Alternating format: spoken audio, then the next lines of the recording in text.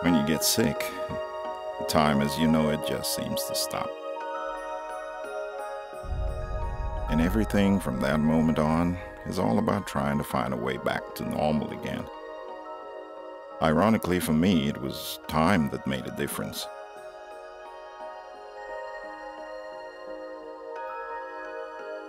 It was that one doctor who took extra time with me to show me that my day was more important to him than his.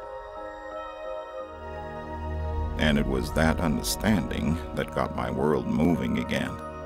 The most important thing we could give our patients is our time. Vanderbilt Medical Center.